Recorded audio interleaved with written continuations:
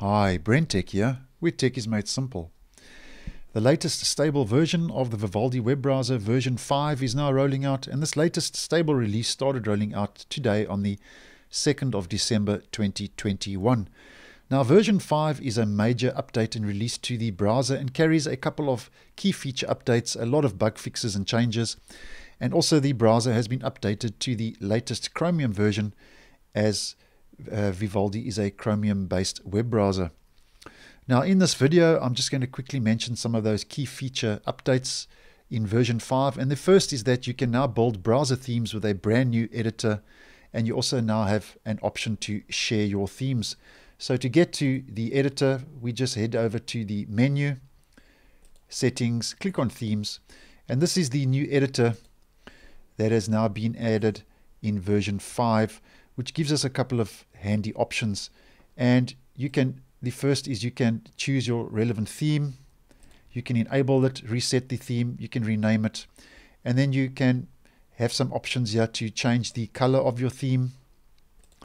You have options to change the background of your theme and also different settings and options that you, as an example, can blur your theme. You have transparency effects, scroll bar style, corner rounding, just to mention a couple of those settings you can click on Get More Themes, which will redirect you online to Vivaldi themes, where you can, you know, find a relevant theme, download that, and, uh, and apply that to the browser.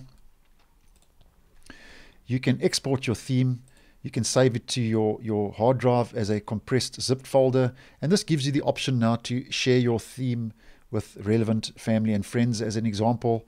And you can also open a theme and re-import a theme you know, from a saved location where you have saved that theme from your hard drive and you can re-import that theme into the browser. So the editor just gives us a couple of handy options now in version 5 um, where you can build browser themes with that brand new editor.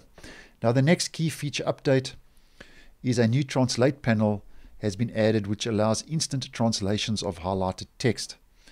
So if I just quickly go to a website that I can translate, now, as you can see, there are already translation options that have been built into the browser, and I have mentioned these in previous version update videos to Vivaldi. Now, to apply this new translate panel, we just head over to the panel, right click, go to panels, and then just click on translate. And this is the new translate panel that has been added in version 5. And I'm just going to copy any random texture to translate. And we just click on translate. And this just gives us hand, another handy option for uh, translation features in the browser. And my translation says red curry casserole with coarse noodles. And then you also can auto translate selected text. So every time if you have that option clicked when you select text to translate it will automatically translate the text without having to actually click on translate. You can clear your translation. You can also show your translate history which is a nice handy feature. And then you also have your different options uh, in whatever language you want to translate to or from. So the translate panel now allows instant translations of highlighted text. And then the last key feature update I want to mention, and this is this has now been rolled out in version 5 due to user feedback, and that's you now have a pop-out menu for your downloads.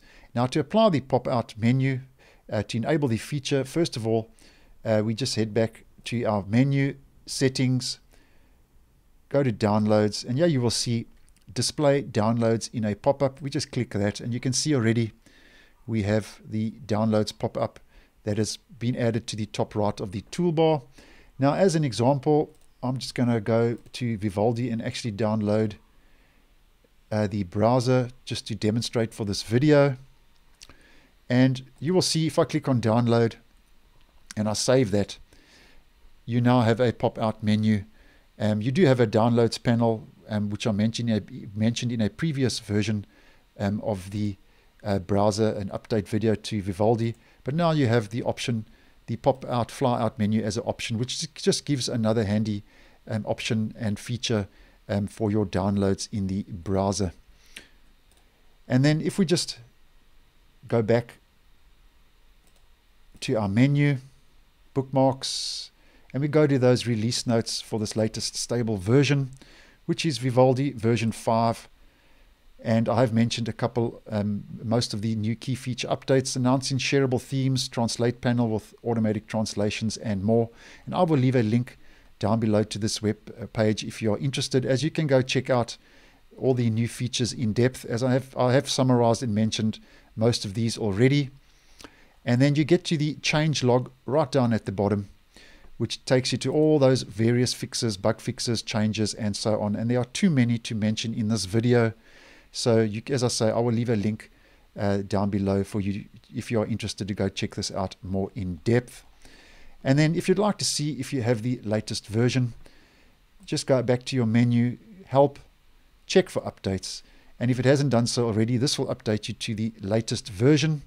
And if we head back to our menu again, help, about, the latest stable version now of Vivaldi, which is a major version update, is version 5.0.2497.24. So that's 502497.24. And as mentioned, um, the browser has also been updated to the latest Chromium version, which is 96.0.4664.51. And this will also contain all the latest fixes and security updates to the Chromium engine, um, as Vivaldi is based on the open source Chromium platform. So that's more or less the key feature updates that have rolled out in version 5. As mentioned, there are a lot of bug fixes as well. I will leave those release notes down below um, if you're interested. And I hope you found this video useful. So once again, thanks for watching and I will see you in the next one.